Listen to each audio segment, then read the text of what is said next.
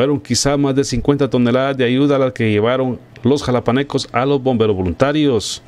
Es José Teyes, oficial de bomberos voluntarios de Jalapa, quien nos amplía la información y responde de por qué políticos están detrás de bomberos voluntarios.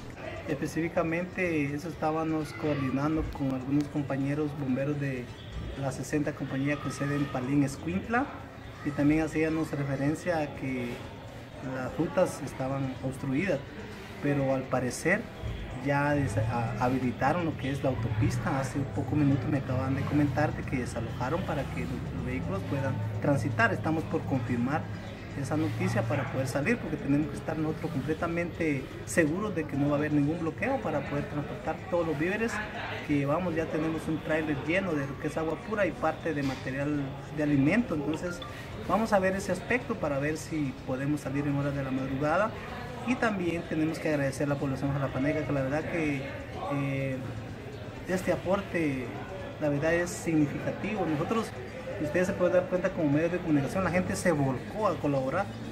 Lógicamente también confían en nuestra credibilidad y esto nos compromete a nosotros a llevar el producto hasta lo que es el lugar. Déjenme comentarle que para eh, poder entregar todo el producto hay un albergue habilitado en Escuintla, según lo que tenemos conocimiento.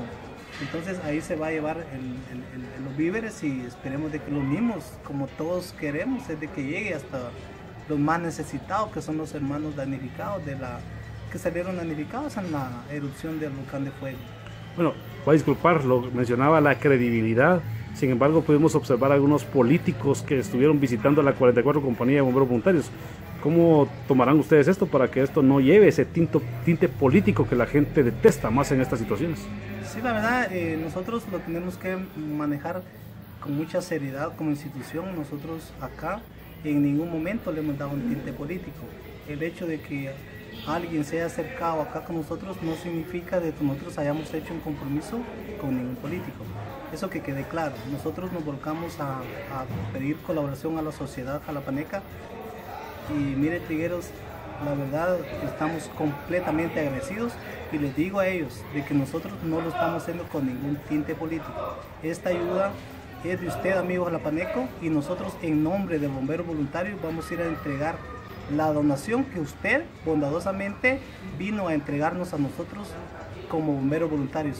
Y, quiero que esa credibilidad la, la mantengan siempre porque nosotros como institución somos una institución apolítica, no perseguimos ningún partido político y por ende le quiero decir eh, seriamente a usted amigo Jalapaneco, la ayuda que usted dio la proporcionó a bomberos voluntarios y nosotros vamos a hacer entrega de la misma y completamente lo vuelvo a repetir, no tiene ningún tinte político. Licenciado, se hablaba de entregarlo personalmente a los damnificados, pero estamos hablando que son entre 50 y 60 toneladas las que se recaudaron acá en la 44 compañía. Es casi imposible entregarlas de, mano en mano. Sí, nosotros al inicio se recuerda, Tigueros, que yo personalmente le decía de que el producto lo íbamos a entregar específicamente a los damnificados, pero es imposible el acceso a los lugares en donde se, se necesita entonces, si nos podemos dar cuenta, un tráiler de esta naturaleza no lo podemos llegar a estos lugares porque si dan cuenta ustedes a través de, los medios de comunicación, inclusive vehículos pequeños se les hace difícil el acceso a, este lugar. Entonces nosotros tenemos la plena confianza de que el producto que se lleva a Escuintra va a ser entregado a los damnificados, que es el objetivo principal que hemos nosotros eh, establecido y que los hermanos en realidad que están perjudicados reciban este aporte que usted, amigo Jalapaneco, vino a entregar muy bondadosamente a nosotros como institución bomberil.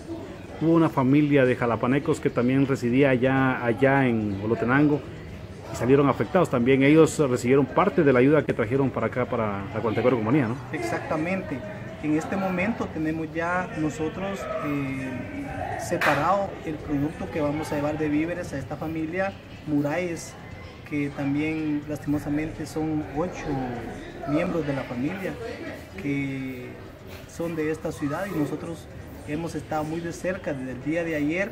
Tuvimos información de que ellos estaban eh, por trasladarse a este lugar y estamos próximos a llevarle la ayuda a ellos para que puedan de una manera solventar la situación que están pasando estos hermanos jalapanecos.